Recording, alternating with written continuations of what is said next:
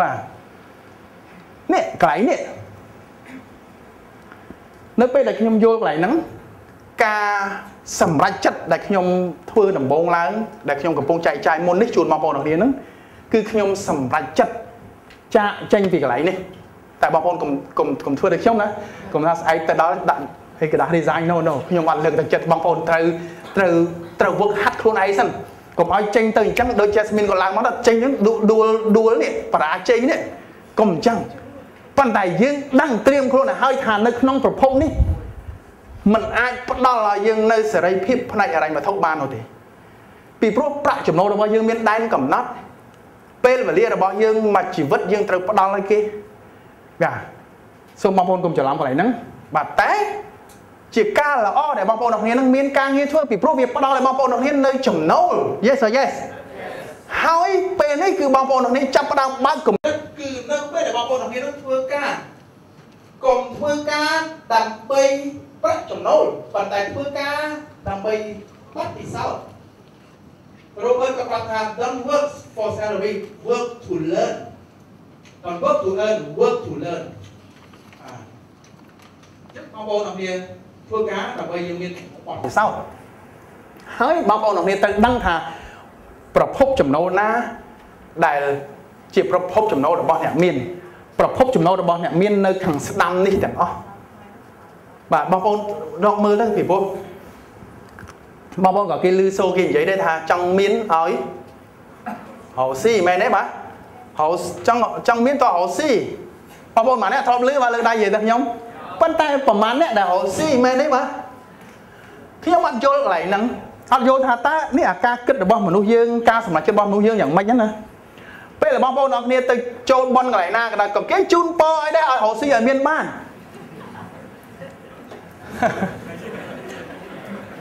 មែនទេបាទអូជូនពរឲ្យរកស៊ីមានបានណាហៅនៅអូល្អមែនតើជូនពរឲ្យរកស៊ីមានបាន ប៉ុន្តែយើងអត់រកស៊ីទៅតាមអញ្ចឹងមិនមែនកំហុសរបស់គាត់ទេគាត់ជូនពរឲ្យត្រូវទេជូនពរឲ្យរកស៊ីឲ្យមានបានប៉ុន្តែយើងអត់ទៅរកស៊ីអញ្ចឹងដល់ពេលដែលយើងអត់មានបានយើងកុំបន្ទោសគាត់ពីព្រោះមកបើយើងធ្វើការងារទេបាទបងប្អូនមកនេះយល់អ្វីខ្ញុំនិយាយទៅដៃនិយាយទៅខ្ញុំអរគុណច្រើនបាទតែដៃខ្លាំងខ្លាំងជូនខ្លួនឯងមើលបាទបាទអញ្ចឹងនេះនេះមួយគឺខ្ញុំចែកចាយជូនបងប្អូនទាំងគ្នាមួយសារទៀតបើសិនជាបងប្អូនធ្លាប់ស្ដាប់ពីមុនមកអញ្ចឹងបងប្អូននៅកន្លែងណាมันសំខាន់ទេឥឡូវនេះ ពីព្រោះយើងអាចខលពេលវេលាថយក្រោយប៉ុន្តែអ្វីដែលកើតឡើងគឺផ្ដល់ឲ្យបងប្អូនទាំងគ្នានៅបទពិសោធន៍ទាំងអស់តែសំខាន់បំផុតសួរថាតើបងប្អូនទាំងគ្នានឹងធ្វើដំណើរទៅណាអាចបងប្អូនអាចនៅកន្លែងនេះបងប្អូនអាចមកជា self employed បើកហាងមួយខ្លួនឯងឬមួយក៏ចេញពីនេះមក business owner ឬមួយក៏មក investor ឬមួយក៏ចេញពីកន្លែងនេះមក invest យកប្រាក់ចំណូលដែលយើងបានមកពីការពីពីធ្វើការហ្នឹងសន្សំមកចំណែកចាយមកចំណែកអាសន្សំហ្នឹងយើងយកទៅធ្វើអីឬមួយក៏យកទៅវិនិយោគធ្វើអាជីវកម្មធ្វើអីណាក៏ដោយ you decide it make decision now អូខេនេះជាជាជាការសម្រេចចិត្តរបស់ខ្ញុំដែលធ្វើឲ្យជីវិតរបស់ខ្ញុំផ្លាស់ប្ដូរមួយគឺកន្លែងហ្នឹងការសម្រេចចិត្តមួយទៀតដែលខ្ញុំចង់ចែកចាយជូនបងប្អូនទាំងគ្នាប័ណ្ណពិសោធន៍របស់ខ្ញុំឯណាបងប្អូនមិនចាំបាច់ធ្វើតាមខ្ញុំក៏បានដែរនៅពេលដែលខ្ញុំចាប់ផ្ដើមដឹងថាភាពជោគជ័យរបស់ជីវិតរបស់មនុស្សម្នាក់មិនមែនអាស្រ័យទៅលើកត្តាខាងក្រៅប៉ុន្តែអាស្រ័យទៅលើបុគ្គលខ្លួនឯងផ្ទាល់ខ្លួនគឺមានន័យថាយើងត្រូវចាប់ផ្ដើមមកធ្វើការជាមួយម្នាក់នេះ ពីព្រោះម្នាក់នេះជាដើមឈើជាដើមអីមួយដែលនឹងផ្ដល់នៅផលអីបางយ៉ាងអញ្ចឹងយើងត្រូវធ្វើជាមួយម្នាក់ហ្នឹងបាទនៅពេលដែលខ្ញុំយល់កន្លែងហ្នឹងគឺរួមទាំងការដែលបងប្អូនរបស់គ្នានឹងត្រូវចេះត្រូវថែរក្សារាងកាយរបស់យើងនេះត្រូវថែរក្សាសុខភាពរបស់យើងនេះឲ្យបានល្អប្រសើរទើបយើងនឹងធ្វើកិច្ចការអីផ្សេងផ្សេងទៀតបានល្អប្រសើរអញ្ចឹងរាងកាយសុខភាព ជាកត្តាសំខាន់ដែលពាក់ព័ន្ធទៅនឹងភាពជោគជ័យរបស់មនុស្សយើងហើយបងប្អូនក៏សង្កេតឃើញអ្នកខ្លះមានលុយច្រើនប៉ុន្តែសុខភាពទ្រុឌទ្រោមអ្នកខ្លះរៀនចេះចំណេះដឹងមានជំនាញជាច្រើនមានឱកាសជាតកែជាអីច្រើនប៉ុន្តែរាងកាយគាត់ទ្រុឌទ្រោមគាត់ឈឺគាត់មានជំងឺជាច្រើនរ៉ាំរ៉ៃ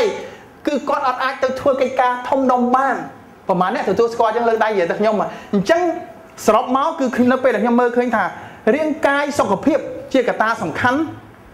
នៅពេលដែលខ្ញុំចាប់ផ្ដើមធ្វើការសម្រេចចិត្តផ្លាស់ប្ដូរមួយនោះដែលមនុស្សភាគច្រើនពិបាកមិនអាចធ្វើបានគឺខ្ញុំចាប់ផ្ដើមធ្វើការ transform ខ្លួនឯងបំលែងខ្លួនឯងបងប្អូនដឹងថាខ្ញុំជានាយកសន្តាគារខ្ញុំមានតំណែងតំណងជាមួយនឹងមិត្តភ័ក្តិខាងក្រៅជាច្រើនហើយនៅពេលដែលខ្ញុំមានតំណែងហ្នឹងនៅពេលដែលខ្ញុំមានប្រាក់ចំណូលចូលជាង1000ដុល្លារមានឡានបើកមានទូរស័ព្ទល្អល្អប្រើបងប្អូនដឹងហើយថា តើការរស់នៅក្នុងសង្គមពេលហ្នឹងដែលខ្ញុំហៅថាជាចង្វាក់ជាភាពសមមួយយ៉ាងម៉េចបាទស៊ីផាត់ដើរលេងមិត្តភ័ក្តិថ្ងៃសៅរ៍យូរដំបងដំបងថាងសៅរ៍អាទិត្យបាត់ stress មិនអញ្ចឹងទេតែយូរយូរអាច័ន្ទគាពុទ្ធពហោះក៏បាត់ stress ដែរបាទក៏ក៏ក៏ត្រូវតែទៅដើម្បីបាត់ stress ដែរអញ្ចឹងខ្ញុំក៏ធ្លាប់ជាមនុស្សម្នាក់ក្នុងចំណោមបរិសដតីទៀតជាច្រើនអ្នកដែលស្ថិតនៅក្នុងភាពសប្បាយរីករាយនៅក្នុងការដើរហើរក្នុងការមានមិត្តភ័ក្តិហូ បចុកអីនោះឯងខ្ញុំមិនរិះគន់បងប្អូនណាមួយនៅទីនេះនោះទេតែខ្ញុំគ្រាន់តែចែកចាយពីបទពិសោធន៍របស់ខ្ញុំប៉ុន្តែនៅពេលដែលខ្ញុំយល់ពីគោលការណ៍នោះខ្ញុំបានសម្រេចចិត្តថាចាប់ពីនីតិនេះតទៅខ្ញុំ transform ផ្លាស់ប្ដូរកាលពីមុនមៀតខ្ញុំមិនមែនអញ្ចឹងទេមៀតខ្ញុំធាត់ជាងហ្នឹងខ្ញុំចូលចិត្ត80គីឡូក្បាលពោះខ្ញុំ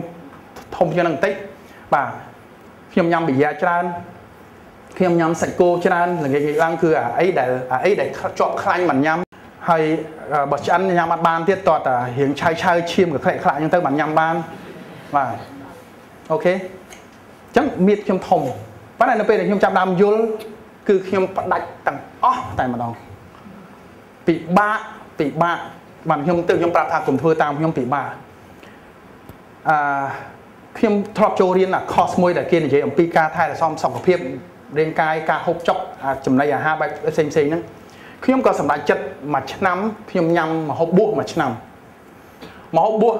គឺមានតែបន្លែតៅហ៊ូបន្លែតៅហ៊ូបន្លែតៅហ៊ូបន្លែតៅហ៊ូបន្លែតៅហ៊ូតាំងពី80គីឡូរហូតដល់មុខខ្ញុំឡើង sport ដើរជួបមិត្តភក្តិសួរឲ្យឈឺអីហើយកើតទេអានេះកើតជំងឺអីអញ្ចឹងហើយបងប្អូនអឺញាតិមិត្តរបស់ខ្ញុំប្រាប់ថាវាមិនដែលណាគេធ្វើដូចឯងអញ្ចឹងទេគេតតែគេញ៉ាំសាច់បានគេមានកម្លាំងតែគឺឥឡូវឲ្យមើលរូបរាងឯនេះ តើឲ្យធាត់បានស្អាតតែធាត់ដូចមុនបានសង្ហាអីសពបែបយ៉ាងហើយជួនកាលទៅយើង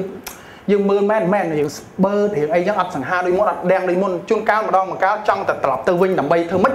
ទទួលបានអារៀងបែបនឹងបែបមុនវិញណាវាវាវាពិបាកងាយងាយឡើងគឺជួនកាលទៅពីមុនមកធ្លាប់តែងាយងាយឡើងទៅអាកន្លែងបៀកាដិនតិចតិចបងប្អូនសម័យឃើញទេបាទបើគេមកហៅយើងយើងហៅគេអញ្ចឹងទៅ ម្ដងម្នាក់អីចឹងទៅយូរយូរទៅយើងរហូតយើងយើងច្រើនជាងគេអញ្ចឹងទៅយើងហៅតែដល់ពេលមួយដល់ពេលយើងខំខំមកដល់ផ្លាស់ប្ដូរកន្លែងហ្នឹងមកដល់អត់បាត់អស់លេងមកមិត្តភ័ក្តិអត់ចោះចំណោមគេមែនអត់ចោះចំណោមគេមែនបាទរហូតមកដល់ឥឡូវគឺមិត្តភ័ក្តិពីមុនពីមុនមកគឺនៅតែយូរយូរពីមួយឆ្នាំមិនខលដល់គ្នាម្ដងប៉ុន្តែអត់អត់ស្និទ្ធស្នាលដូចពីមុនប៉ុន្តែខ្ញុំមានមិត្តភ័ក្តិថ្មីដែលប្រហាក់ប្រហែលខ្ញុំឥឡូវហ្នឹងឯងបាទអញ្ចឹងកន្លែងហ្នឹងដែលខ្ញុំចង់ជម្រាបជូនបងប្អូនអរគ្នាគឺអឺមួយឆ្នាំ តហ៊ូបន្លែតហ៊ូបន្លែតហ៊ូបន្លែគឺអត់មានអីទាំងអស់មួយឆ្នាំហ្នឹងក្រោយមកទើបខ្ញុំចាប់ផ្ដើមសេរីការរស់នៅវិញគឺខ្ញុំកាត់ផ្ដាច់ការញ៉ាំសាច់ខ្ញុំអត់បានខ្ញុំអត់ញ៉ាំសាច់ខ្ញុំញ៉ាំតែត្រីសាច់មាន់ហើយបន្លែតហ៊ូបាទប៉ុន្តែសាច់គោខ្ញុំចង់និយាយសាច់គោណាបាទអូមិនខ្ញុំនិយាយខុសអីណាហើយប៊ីយ៉ាក៏ខ្ញុំបានផ្ដាច់ វាដល់ពេលដែលយើងផ្ដាច់ទៅវាលែងចង់ពីមុនមកគឺយើងនៅចង់អានឹងចំណងវាក៏ជា psychology របស់អាម៉ាញរបស់យើងមិនដែរនៅពេលដែលម៉ោងណាមួយល្ងាចឡើងម៉ោង5ម៉ោង6ច្រើនតែនៅអត់សុខណាម៉ោងហ្នឹងណាបាទដូចជារស័ព្ទរស័ព្ទរស័ព្ទរស័ព្ទមិនមើលទូរស័ព្ទគេអត់ទេមកអញ្ចឹងណាដូចជាមានអារម្មណ៍ថាថ្ងៃនេះបើសិនណាជាអីចឹងណាមានហេតុផលរហូតបងប្អូនតើបាទជប់លៀងអីគូកំណើតចុងសប្តាហ៍ដើមសប្តាហ៍ កណ្ដាលសប្តាហ៍មិត្តភ័ក្តិមកពីខេត្តទៅបើកលុយ stress សពបែបយ៉ាងអស់ហើយទីបំផុតគឺមួយខែ30ថ្ងៃហ្នឹងស្ទើរតែរៀងរាល់ល្ងាចតែម្ដងបងប្អូនបាទអ្នកស្ថិតក្នុងស្ថានភាពដូចខ្ញុំពីមុនមកដែរអូខេប៉ុន្តែដល់ពេលដែលខ្ញុំចាប់ផ្ដើមធ្វើការផ្លាស់ប្ដូរអញ្ចឹងមែនខ្ញុំអាចស្រកជាងមុនឥឡូវនេះទម្ងន់របស់ខ្ញុំ73 74ធំប៉ុណ្ណឹងថេហើយអត់មានក្បាលពោះ មិនសូវជាមានប្រមាណដូចប្អូនណាឡើងមកចង់អត់មានខ្វះពោះហ្នឹងកាត់បន្ថយកន្លែងហ្នឹងបាទអានេះជាការសម្រេចចិត្តរបស់ខ្ញុំមួយទៀតតែធ្វើឲ្យជីវិតរបស់ខ្ញុំមានការផ្លាស់ប្ដូរហ្នឹងគឺខ្ញុំបានចែកចាយជូនបងប្អូនរបស់គ្នាអូខេបងប្អូនរបស់គ្នាក៏មានការសម្រេចចិត្តកន្លងមកហើយធ្វើឲ្យជីវិតរបស់បងប្អូនរបស់គ្នាផ្លាស់ប្ដូរដែរអញ្ចឹងខ្ញុំចង់នេតិនេះចប់នេតិរបស់ខ្ញុំហើយដល់បងប្អូនរបស់គ្នាម្ដងអឺ Anthony Robbins ជាគ្រូបណ្ដុះបណ្ដាលរបស់ខ្ញុំហ្នឹងគាត់និយាយថា at any moment at any moment the decision you make can change the course of your life forever នីតិណាមួយនោះការសម្រេចចិត្តរបស់យើងនឹងនឹងធ្វើឲ្យជីវិតរបស់យើងដំណើរនៃជីវិតរបស់យើងនឹងនឹងមានការផ្លាស់ប្ដូររហូតតែម្ដង Anthony Robbins គាត់និយាយអញ្ចឹងអូខេដូច្នេះនេតិនេះ ខ្ញុំផ្ដល់ឲ្យបងប្អូនអរគ្នាម្ដងបងប្អូនសាកគិតត្រឡប់ទៅវិញ នៅអតីតកាលកន្លងមកខ្ញុំចង់ឲ្យបងប្អូនអរគ្នាក្រំតែរកនឹកមើលនៅការសម្រេចចិត្តពីរចំណុចបានណាពីអតីតកាលដែលបងប្អូនអរគ្នាមើលឃើញថាការសម្រេចចិត្តទាំងពីរហ្នឹងដែលបងប្អូនធ្វើកន្លងមកនៅអតីតកាលហ្នឹងបានធ្វើឲ្យជីវិតរបស់យើងមានការផ្លាស់ប្ដូរអវិជ្ជមានមិនមែនអវិជ្ជមានផ្លាស់ប្ដូរវិជ្ជមានអញ្ចឹងបងប្អូនអរគ្នារកនឹកមើល what are the two decisions you made in the past that have positively changed your life ហ្នឹងបាទហើយសួរថាតើមូលហេតុអីបានធ្វើឲ្យបងប្អូនគ្នាសម្រេចចិត្តអញ្ចឹងអញ្ចឹងបងប្អូនរកនឹកពីរចំណុចមានន័យថាការសម្រេចចិត្តពីរការសម្រេចចិត្តពីរតែការសម្រេចចិត្តមួយមួយចង់ឲ្យបងប្អូនគ្នាទៅសេចុះមករួចហើយប្រាប់ថាហៅមើលថាមូលហេតុអីបានសម្រេចចិត្តអញ្ចឹង បាទបងប្អូនម្នាក់យល់អ្វីដែលខ្ញុំនិយាយបាទមានទេលើកលើកដៃនិយាយតែខ្ញុំបាទអញ្ចឹងបងប្អូនបើកសភៅបងប្អូនទៅសេមកអូខេធ្វើធ្វើ homework នោះមក homework ហ្នឹងគឺមានពីរបងប្អូនមើលហើយនេះសិនខ្ញុំបញ្យល់សិនខ្ញុំទុកពេលឲ្យបងប្អូនគ្នាធ្វើការសម្រេចចិត្តទី1បងប្អូនទៅសេមកដូចខ្ញុំបានរៀបរាប់ពីខ្ញុំកន្លងមកហ្នឹងបងប្អូនដាក់ទៅសេមកការសម្រេចចិត្តធ្វើអីណាមួយកន្លងមកហ្នឹងហើយសួរថាការសម្រេចចិត្តហ្នឹង បានផ្ដល់ឲ្យការផ្លាស់ប្ដូរក្នុងជីវិតរបស់បងប្អូនគ្នាវិជ្ជមានអ្វីខ្លះបងប្អូនទៅសេរៀបរាប់ហ្នឹងមក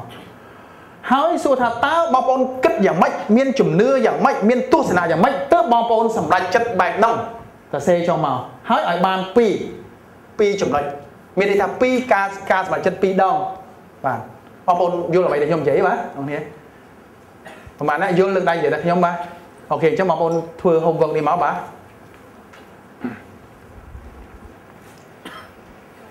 អូខេអឺខ្ញុំគិតថាបងប្អូនមិនតន់យល់អ្វីដែលខ្ញុំនិយាយខ្ញុំចង់ឲ្យបងប្អូនទាំងនេះហ្នឹងស្រាវជ្រាវរំលឹកឡើងវិញពីអតីតកាលរបស់យើងដោយតែខ្ញុំបានចែកចាយការធ្វើការសម្រេចចិត្តរបស់ខ្ញុំកន្លងមកហ្នឹងអញ្ចឹងខ្ញុំចង់ឲ្យបងប្អូនរកដឹកមើលមានការសម្រេចចិត្តពីរយ៉ាងណានោះដែលបងប្អូនធ្លាប់ធ្វើកន្លងមកហើយការសម្រេចចិត្តហ្នឹងធ្វើឲ្យបងប្អូនទាំងគ្នាហ្នឹងមានការផ្លាស់ប្ដូរជីវិតទៅរកភាពវិជ្ជមាន អញ្ចឹងការសម្រេចចិត្តទី1សរសេរមកអីគេដូចខ្ញុំអញ្ចឹងការសម្រេចចិត្តទី1ខ្ញុំផ្លាស់ប្ដូរពីសម្រេចចិត្ត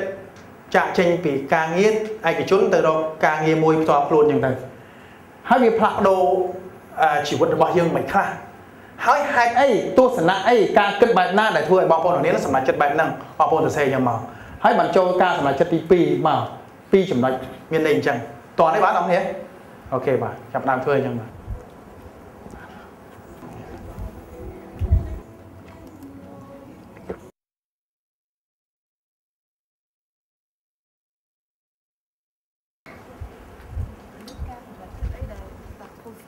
positive negative អត់អត់ទេហ្នឹងហើយ positive ណា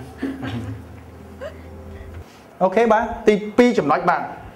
បងប្អូនណាហើយលើកដៃនិយាយថាខ្ញុំខ្លាំងខ្លាំងបាទខ្ញុំបងប្អូនអត់តាន់ហើយលើកដៃនិយាយថាខ្ញុំអូខេអញ្ចឹងខ្ញុំទុកពេលឲ្យបងប្អូនអ្នកគ្នា5នាទីទៀតចុះដើម្បីបញ្ចប់ការងារហ្នឹងហើយនឹកមើលតោះធ្វើបាទលើកទឹកចិត្តឲ្យបងប្អូនអ្នកគ្នាធ្វើឲ្យបានគ្រប់គ្នាបាទ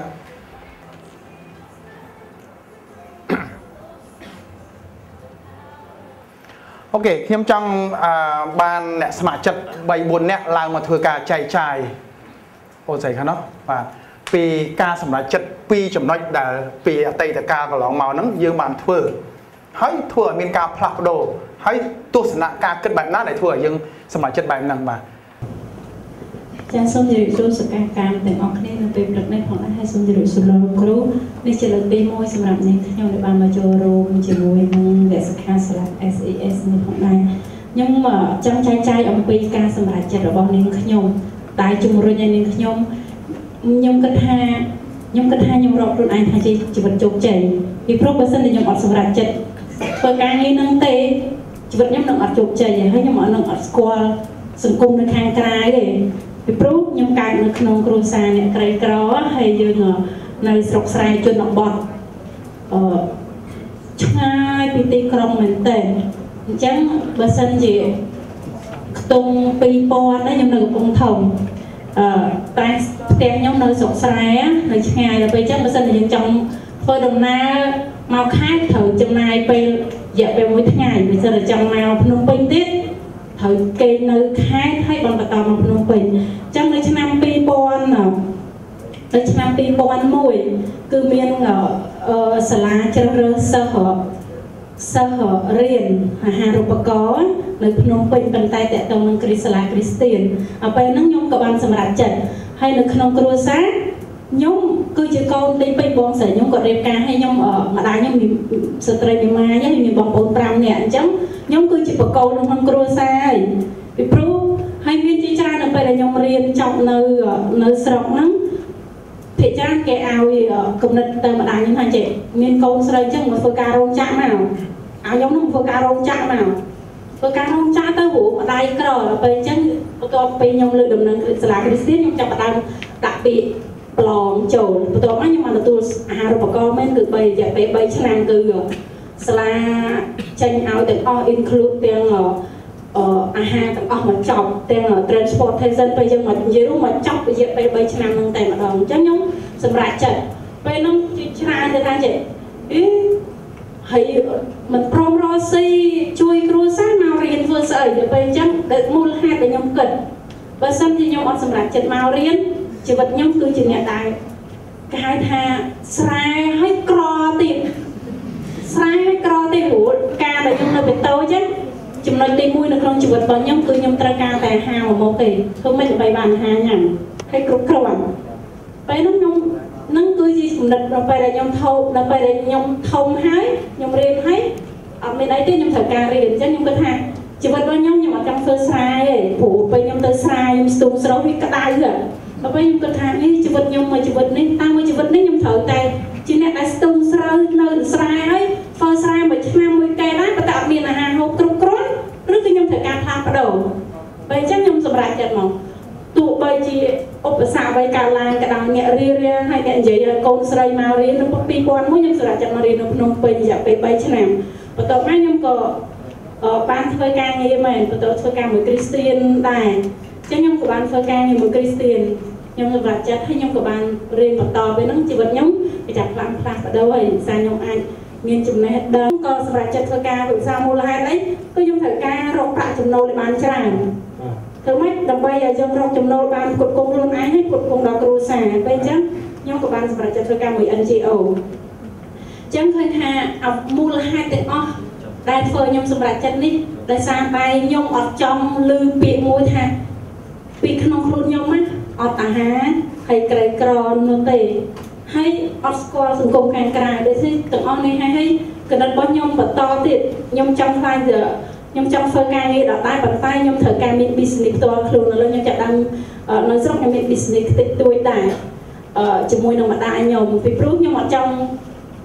នៅតែជីវិតដកដាលដដែលហើយដកដាលដដែលអត់ព្រមប្រើអ្វីដែលខ្ញុំមានទេពីព្រោះខ្ញុំចង់ឲ្យខ្ញុំប្រើខួរក្បាលខ្ញុំកាលណាខ្ញុំប្រើខួរក្បាលខ្ញុំរឹតតែខ្លាំងខ្ញុំខ្លួនឯងកាន់តែអភិវឌ្ឍខ្លួនឯងកាន់តែខ្លាំងអញ្ចឹងនេះជាចំណុចមួយដែលខ្ញុំគិតថាជាជីវិតដែលជោគជ័យដែល ក្មេងស្រីនៅក្នុងភូមិខ្ញុំដែលអត់មានអ្នកណាដូចខ្ញុំប៉ុន្តែខ្ញុំអាចប្រៀបធៀបជាមួយនឹងបងប្អូនហើយខ្ញុំប្រៀបធៀបទៅក្នុង OK អរគុណច្រើនបាទអរគុណបាទ OK អូនលីដាបងប្អូនដែលអត់មានឱកាសឡើងមកនេះខ្ញុំចង់ឲ្យបងប្អូនងាកទៅខាងឆ្វេងឬខាងស្ដាំចែកចាយជាមួយគាត់ថាអតីតកាលកន្លងមកខ្ញុំបានធ្វើការសម្រេចចិត្តពីរចំណុចដែលធ្វើឲ្យមានការផ្លាស់ប្ដូរក្នុងជីវិតរបស់ខ្ញុំហ្នឹងគឺអីខ្លះម្នាក់និយាយម្នាក់ស្ដាប់ម្នាក់និយាយម្នាក់ស្ដាប់តោះយើងមានពេល5នាទីដើម្បីធ្វើកិច្ចការហ្នឹងចាប់ផ្ដើមបាទ អូខេឥឡូវនេះដល់ពេលដែលបងប្អូនអរគ្នាត្រូវធ្វើអ្វីមួយយ៉ាង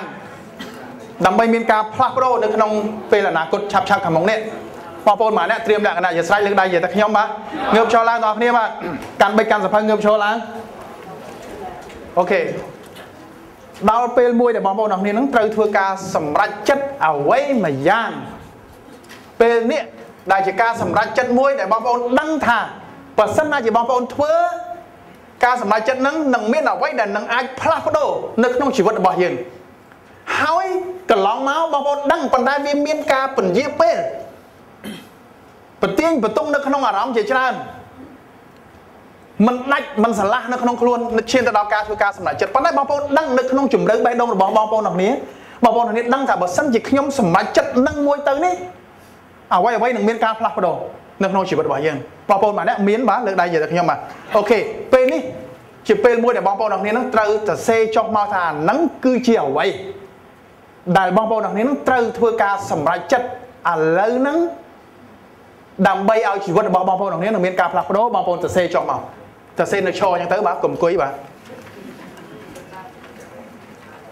2ឬមួយក៏3ការសម្រេចចិត្តអីខ្លះទី1ខ្ញុំត្រូវធ្វើអីទី2ខ្ញុំត្រូវអីទី3ខ្ញុំត្រូវអីសរសេរដោយការតាំងចិត្តសរសេរដោយការជំរុញសរសេរដោយអារម្មណ៍រំភើបសរសេរដោយភាពជឿជាក់សរសេរដោយការរំពឹងទុកដល់ដល់វិជ្ជមានមួយដែលនឹងកើតឡើងនៅថ្ងៃថ្ងៃអនាគតសម្រាប់ជីវិតរបស់យើងនេះឯងសរសេរចុះមកស្មោះត្រង់ចំពោះខ្លួនឯង